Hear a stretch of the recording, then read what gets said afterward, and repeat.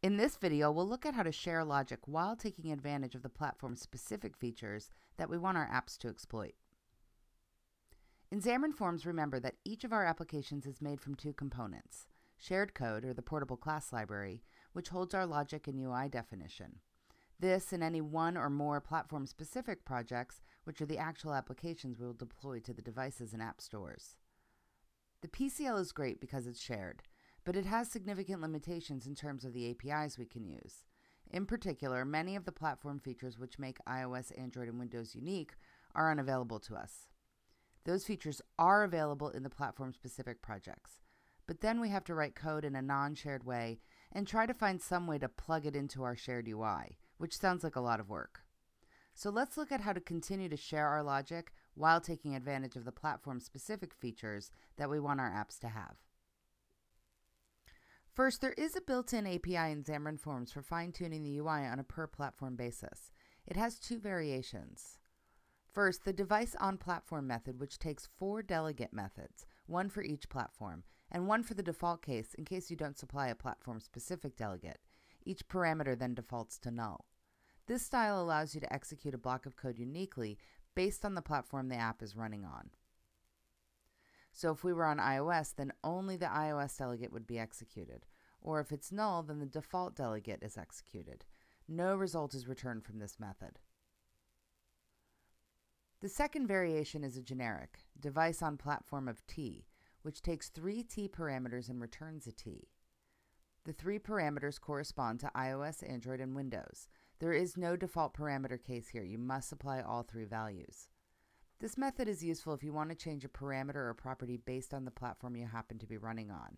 Here, for example, we're adjusting the top of the thickness class based on the iOS platform, returning 20 only for that class. Again, the important thing to remember here is that we're putting this into our shared code, but making it execute a specific branch or return a specific value based on the platform we're executing on at runtime. It turns out that Xamarin Forms exposes a few other features that most applications need. The static device class has several other useful methods for invoking platform-specific functionality. You saw device on platform just a moment ago, which lets you invoke different logic on each platform. It also has a device OS and a device idiom property to identify the platform and footprint. You could use these in conditional branches. The important thing to remember here is that you use this sort of logic in your shared code. It does not allow for any additional platform-specific APIs. It simply lets you execute logic based on the platform and form factor of the device. Xamarin Forms has support with dealing with a few very common platform-specific features. There is a device open URI to open a URI using the platform handler. For example, if you pass in an HTTP URL, each platform will open the browser app and launch that page. The page display alert instance method can be used to show a two button modal message box. There is also a page display action sheet that supports more buttons. Use device start timer to create a timer.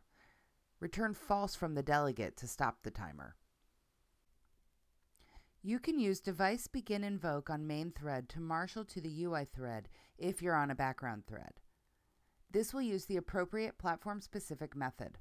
Alternatively, you can also use a .NET synchronization context. This is particularly useful for classes when you are sharing with non-Xamarin Forms platforms, such as ASP.NET or a desktop app.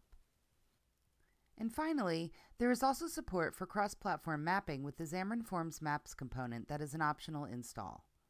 This abstracts out that mapping support from Google, Apple, and Microsoft into a component that is cross-platform.